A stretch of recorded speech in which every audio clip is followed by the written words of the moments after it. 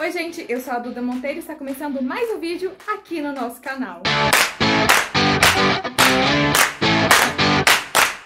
Gente, eu tô chocada! Ninguém me pediu esse vídeo, como assim? Estava eu, né, pesquisando mais uma vez o que, que eu poderia gravar pra vocês e apareceu pra mim um cacto. Eu falei, por que não, né? É tão bonito! Todo mundo gosta, eu acho que vai fazer sucesso. Eu espero bastante que vocês gostem desse vídeo.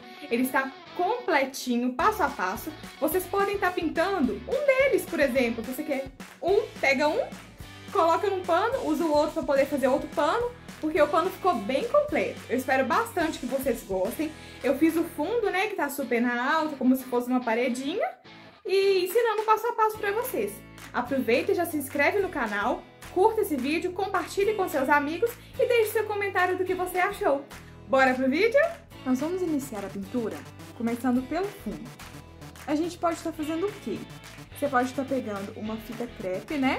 E fazendo um risco certinho, tanto na parte de cima quanto na parte de baixo, que a gente vai estar fazendo aqui como se fosse uma paredinha no fundo, né? Mas eu vou pegar é, essa parte do stencil aqui mesmo, vou posicionar e vou conseguir fazer o mesmo efeito. Então, se você conseguir fazer assim, pode estar fazendo dessa forma também. Você vai pegar a tinta na cor amarelo pele e vai estar fazendo esse processo. Ó, peguei o meu pincel pituar, vou posicionar o stencil, ó, começar aqui pela parte de baixo. Mede mais ou menos, tá, gente? Pra ver se tá certinho.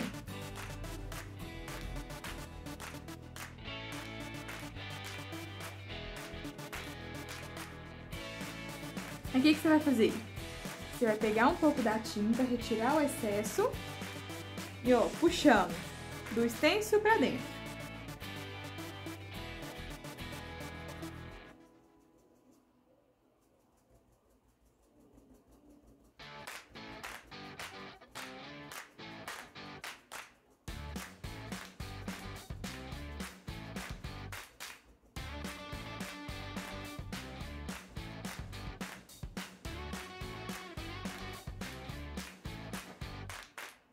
E aí a gente continua pra cá também.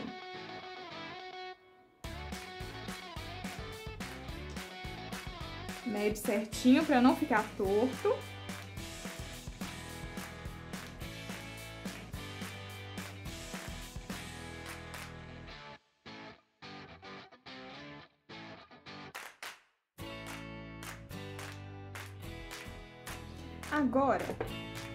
Estar tá pegando a tinta na cor tijolo.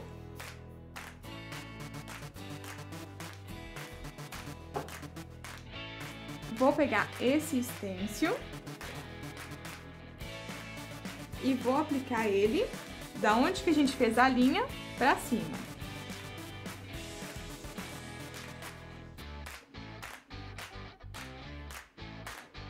Pega um pouco da cor tijolo, retira o excesso e vem aplicando.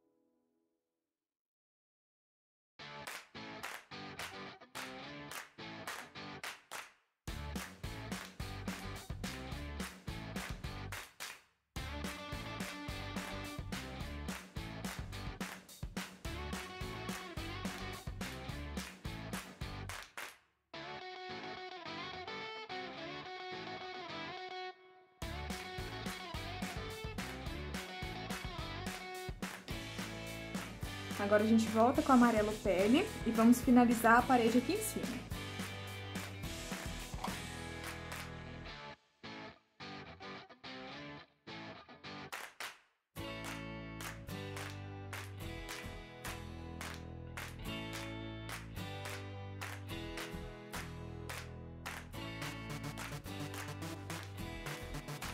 Agora com o amarelo pele a gente vai estar tá sombreando próximo ao nosso desenho.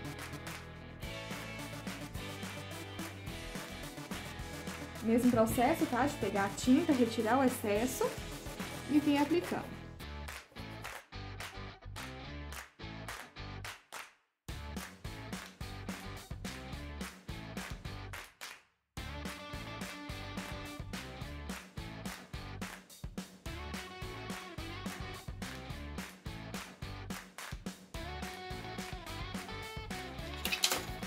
Agora eu vou pegar esse stencil de frase e vou estar tá aplicando ele aqui.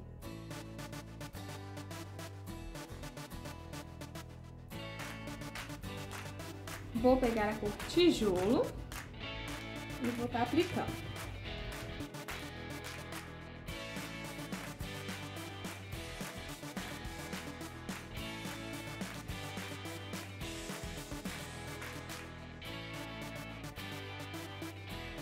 Agora eu vou pegar a cor terra queimada.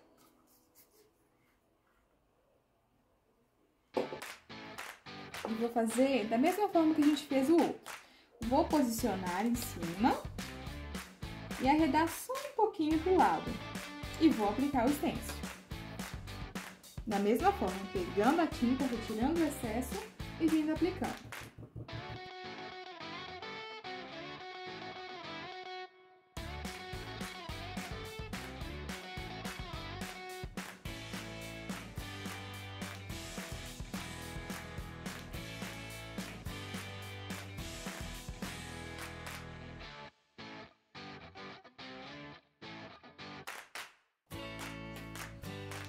Para finalizar a parede, eu vou estar tá pegando e fazendo umas bolinhas com a terra queimada.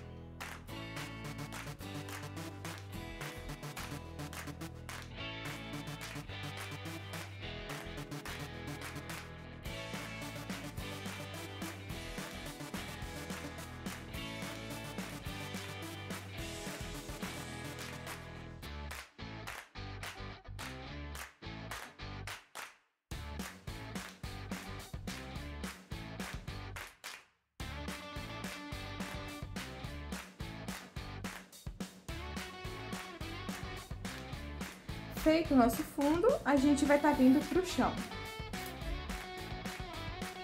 Agora, para estar tá pintando o chão, eu vou estar tá utilizando a cor verde musgo claro. Vou pegar a tinta, retirar o excesso e vir aplicando.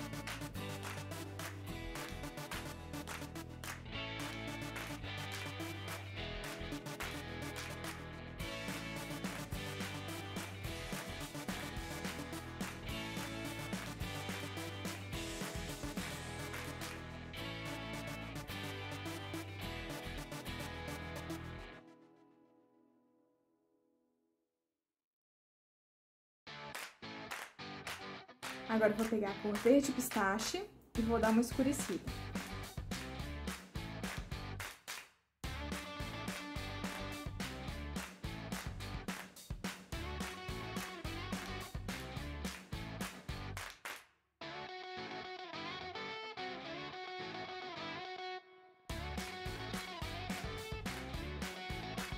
Para pintar esse cara, a gente vai estar utilizando as cores verde kiwi, verde grama e verde pântano. Como eu sempre falo, a gente vai estar tá preenchendo com a cor mais clara e sombreando com as cores mais escuras.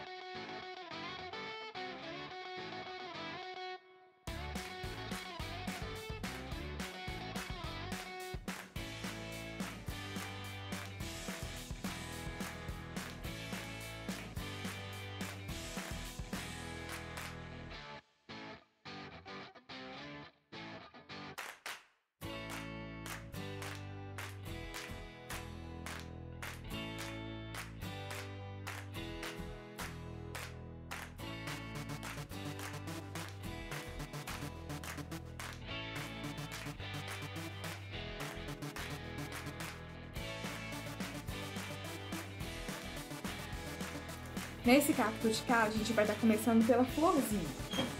Vamos utilizar as cores vermelho fogo e a cor vinho.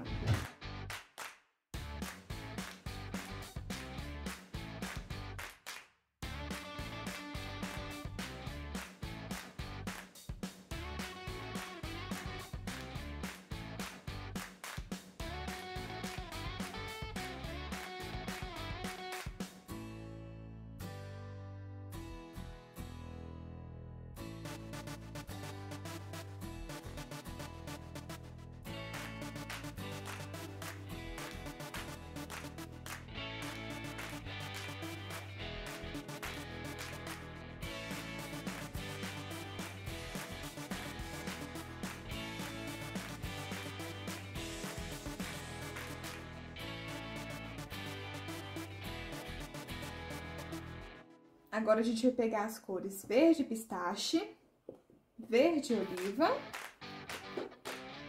e a cor verde pântano e vamos pintar esse cacto.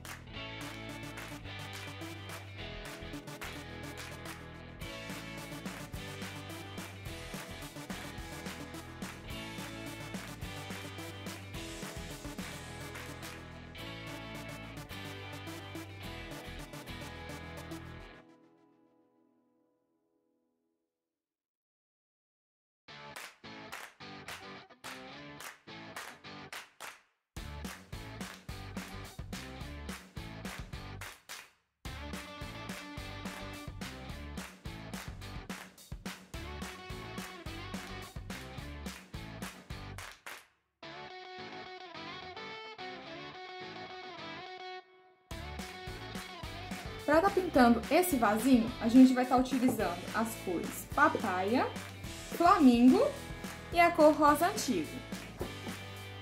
A gente vai sempre estar tá utilizando do mais claro para o mais escuro.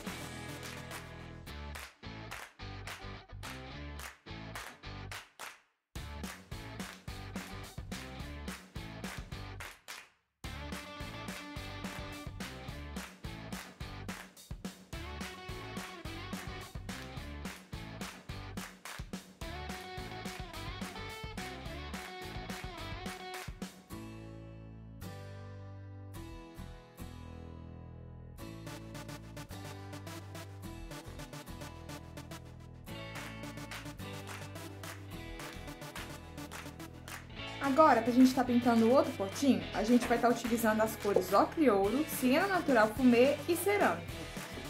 Ó, vamos iniciar o preenchimento com ocre ouro e vamos sombrear com as outras duas cores.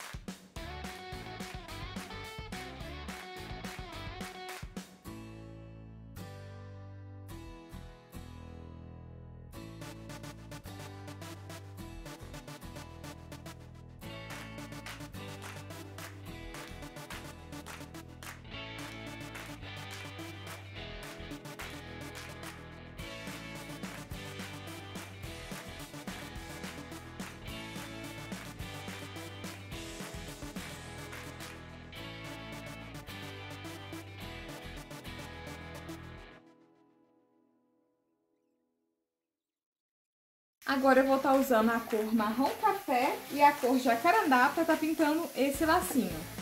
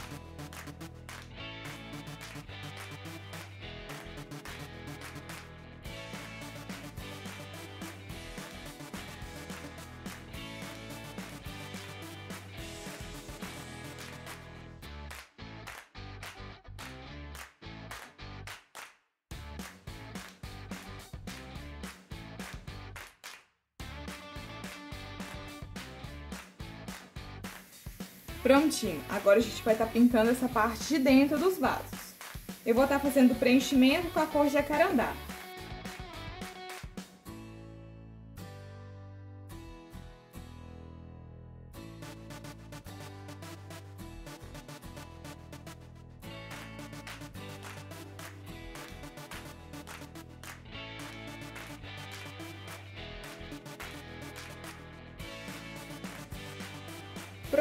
Agora a gente vai secar pra tá vindo aplicando o stencil. Peguei esse stencil de listras e vou estar tá utilizando a cor rosa antigo e vou estar aplicando com um pincel pituar. Vou posicionar o stencil e vou vir aplicando. Pego um pouco da tinta, retiro o excesso e aplico.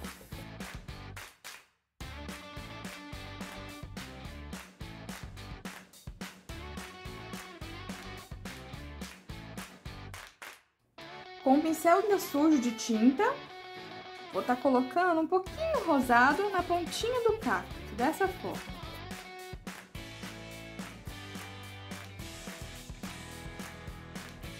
Agora nós vamos pegar a tinta branca e iluminar toda a pintura.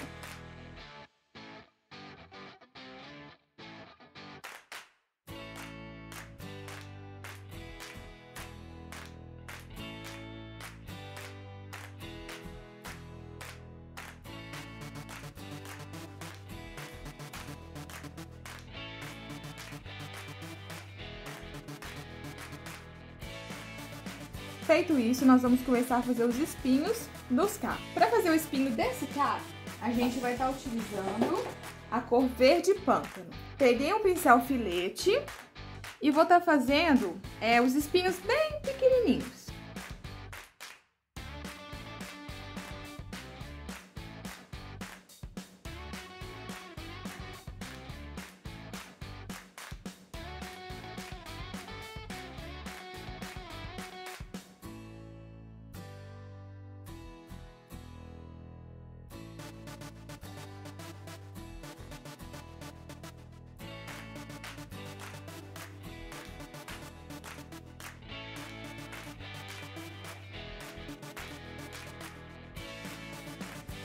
Agora, os espinhos do lado de cá, a gente vai estar tá fazendo a cor jacarandá.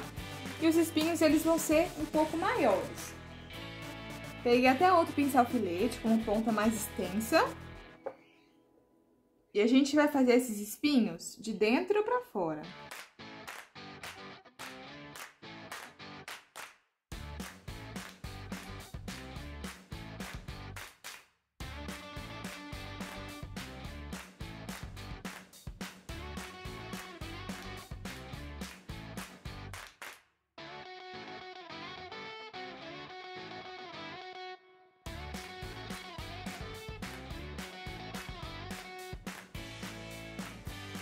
Agora eu vou pegar a tinta branca e vou fazer também alguns detalhes.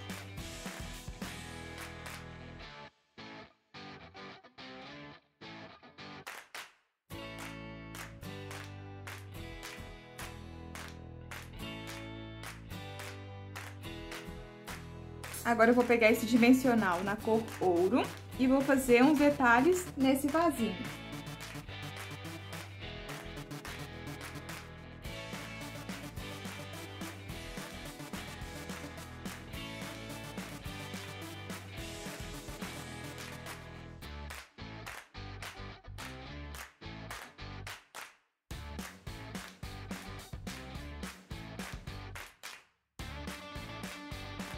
E está prontinha a nossa pintura. Gostou do resultado? Deixa abaixo o que você achou.